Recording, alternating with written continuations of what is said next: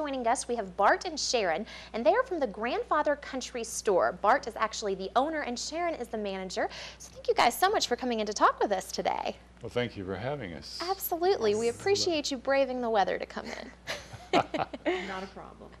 Now, go ahead and talk with us a little bit about Grandfather Country Store. For any of our viewers who have never actually stopped by, tell us a little bit about the store. Well, the store has been there since 1920. It was Wow. started by a lady whom I had the pleasure to know in her later years. Uh, I knew her as Aunt Bill Estes. and the store started in 1920, and the, the building is, uh, probably goes back to the late 1800s. And it has it started out as Blue Moon Station and changed owners and changed names. And the most recent names were have, have something having to do with Grandfather Mountain or Grandfather Country Store or one thing or another like that. And um, we, uh, at one time, it was a community center, Okay. and uh, and we're trying to bring it back to that. Fantastic. So talk with us a little bit about what that means, a community center. What will that include? Well, we uh, have a lot of local people that uh, depend on us for, for conveniences and um, camaraderie and sitting by the wood stove. Um, we have, uh, we want to offer our services year-round to the tourist and to the summer people. Um, we have a lot of people that stop in that are lost, that need directions, uh, a lot of people that need to know how to get onto a trail or their GPSs don't work. Right. And what else? Well, the GPS, we have a sign on our door touting us as a um, um, trauma center for GPS victims. We have a lot of those. trauma here center for sometimes. GPS victims because uh, see what happens people people use their GPS they stop carrying maps Right. and they find themselves at the corner of Holloway Mountain Road and 221 where we are and they don't know where they are and their GPS isn't helping them they don't have a map so it brings us some uh, it brings us some trade so um, Brings us a lot of trade. brings us the a lot lost of trade people. the lost Right. souls Stop by, get some directions, pick up a few goodies. we also are by. touting ourselves as a regional information center Okay. uh, for outdoor activities because we're less than five minutes from Trailhead to uh, Trailheads going over Grandfather Mountain. Right. We're less than five minutes from the Tanawha Trail and from the Mountain to Sea Trail. We're less than five minutes from uh, Julian Price Park and Moses Cone Park. So we are right there. And so people can stop by our store.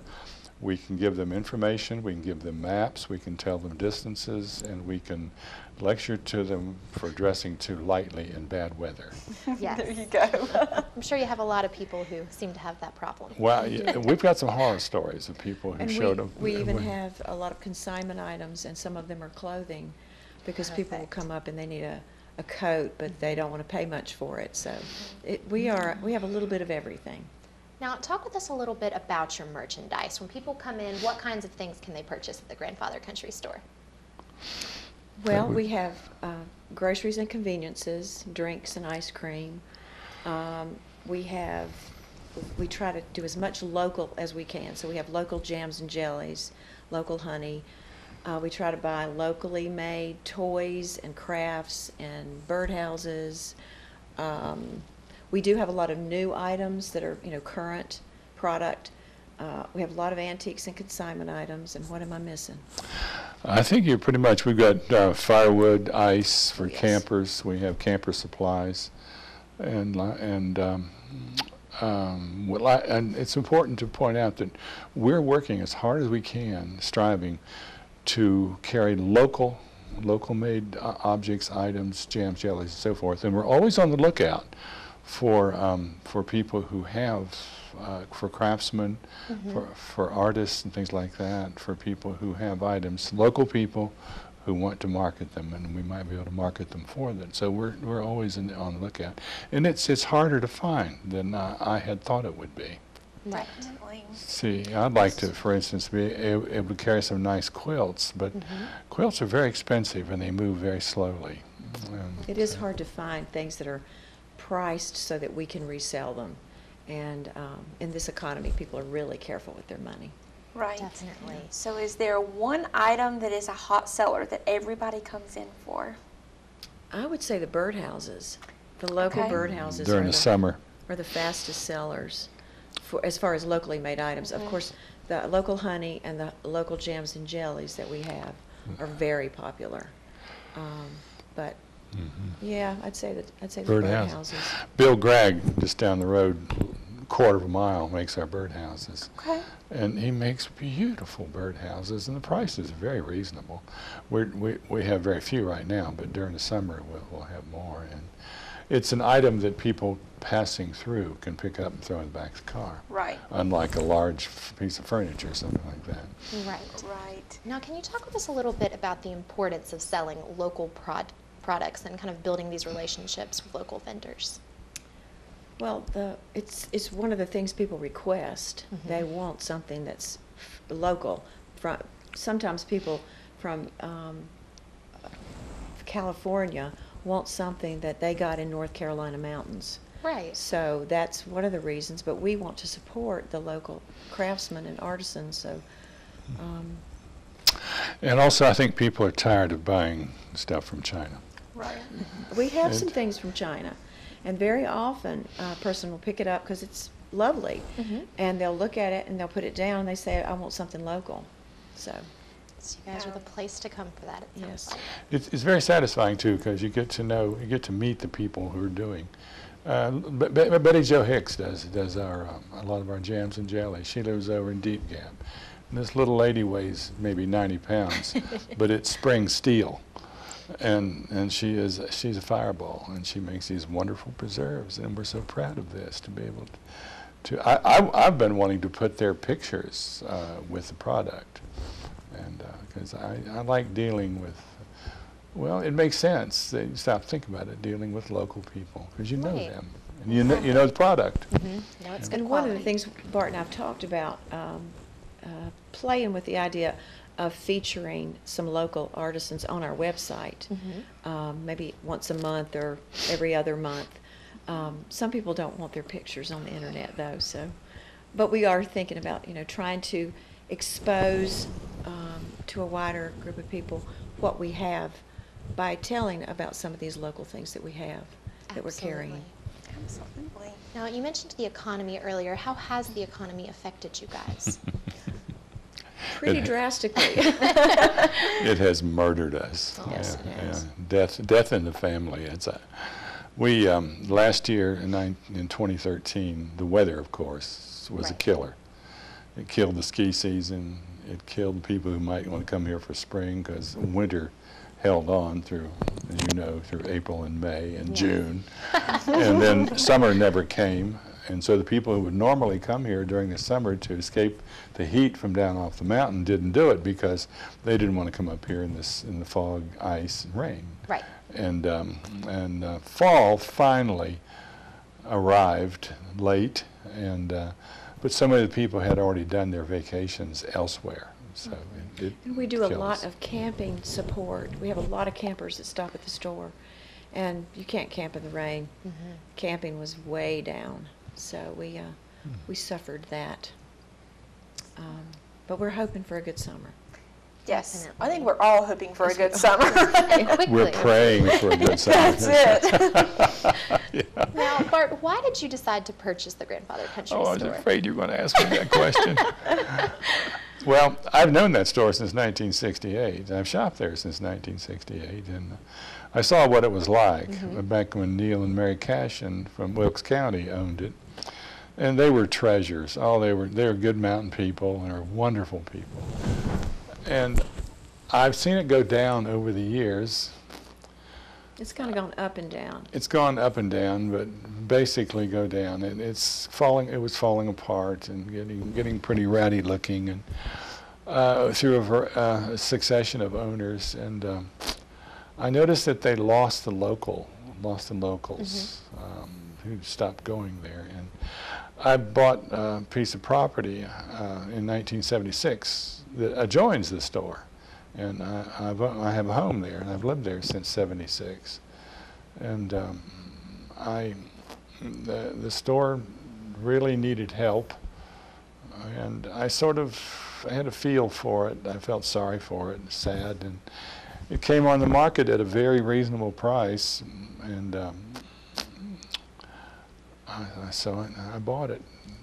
And uh, and now I'm broker than I've ever been in my life. Sounds like you love what you do then. oh, well, we love it. I think I can I speak for you on that. Yes, we you can. enjoy we enjoy Absolutely. what we do. It's and we been do have plans. We do have some goals for the future. Okay. Um, uh, it it has taught us that it really needs to be a place that has beer and wine, like a grocery store Right. would have, and that we need to seriously look into offering some kind of food products. Okay. We really need to have um, a little deli or something. A lot of people want to eat, and they want something more than a Mhm, pack yeah. of crackers. yeah. Right. The the beer and wine issue is really touchy because it's a dry county, and Mhm. uh, and uh, we've tried to get um, we've tried to work through our representative and the ABC board to make a change, and I, I'm working on it. Uh, we failed our first attempt. I'm going to try it again th- this year. And the um, grill, the grill, the grill thing is monstrous because. Um, health department requirements would absolutely murder us. Um, the uh, I don't think we could put in a grill for less than sixty thousand dollars. And if we had a high volume of traffic, like in downtown Blowing Rock, we could do that. But our traffic volume is very low, especially now with the economy the way it is. So Right. But we and, turn away people um, all year long that come in and they're requesting food and beer and wine. So we're, we're seriously looking We're into losing. that. We're losing bu- business there. We and, redirect them. Yeah. to, um, Send it to Blowing Rock. send 'em- Go to go to uh, Bistro Roca and um, um, Fo- They- Fo- Foggy Rock. Yeah. Well, when they're asking for restaurants, yes. and canyons. Um, yeah. But and, when uh, they're shopping, they're just shopping for beer and wine. The closest place is Blowing Rock.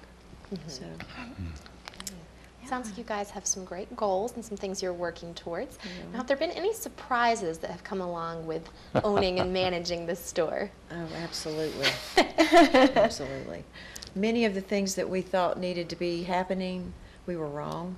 Um, and we've just listened to Mhm. what people want and what they're asking for. Um, and of course, just the, the complications of running a business. Right. I, Neither uh, one uh, of us have ever done this before. No, so- it's our first business. So, And, it's all um, brand new. And um, I, I bought the store in part because of her. I saw her managing it uh, the year before I bought it, and I saw her doing a great job. I didn't know her. You know, And, uh, and uh, when the store came in the market, I called her and asked her if she wanted to manage it for me. She said, "Yeah, okay." And that's that was the, that's the, that's the smartest thing I've ever done in my life uh, was to hire hire Sharon. And uh, Well, we communicate well. We make a good team. We Yeah. just need um, to step up our game a little bit.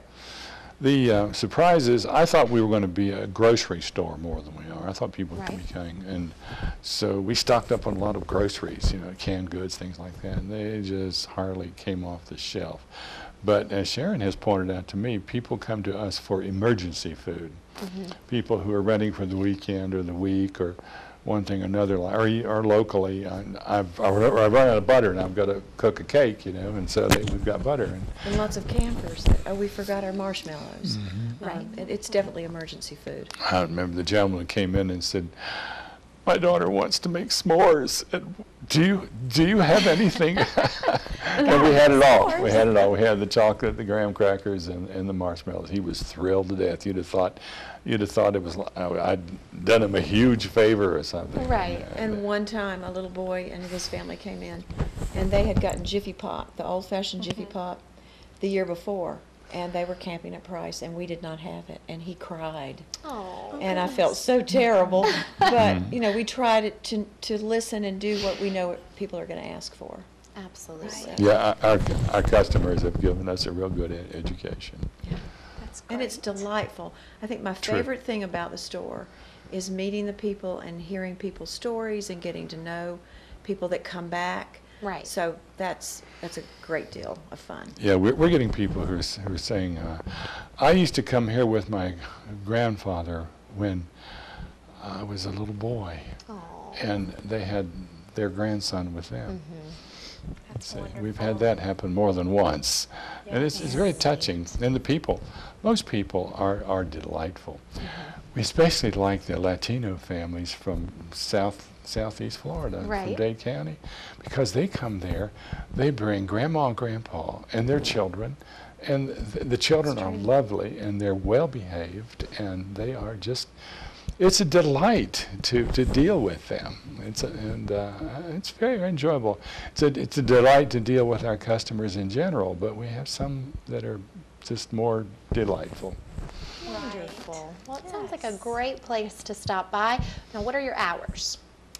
Well, we're open year-round. Okay. Our hours change, so you really need to check our website. Okay. In the wintertime, we are closed on Tuesdays and Wednesdays. Okay. Um, Spring, summer, fall, we're open seven days a week. And it varies. We, right now, we're open from 11:30 till 6, except on Tuesdays and Wednesdays. And around May and June is when we change our, to summer hours, right? Mm-hmm. Kind of depends on the traffic. Okay. But um, in the summertime, it's usually nine to seven. Um, on the weekends, we stay open till eight because of the campers and the people that check into the cabins at the last minute. Um, so I hate to be so wishy-washy, but they do vary. Just check the website. Yeah, we have Check the to, we website. have to run our hours according to the volume of, of business. Right. It's not like se- 7-Eleven where they can stay open, they can open early and stay open late. We, we, we, we, we can't do that. Right. So what's your website? It's www.grandfathercountrystore.com. Okay. Well, thank you guys so much for coming in to talk with us today. Well, Thank you for having Thank us. you. We've enjoyed this. Absolutely. And we will be back right after these messages with more of the Mountain Television Network.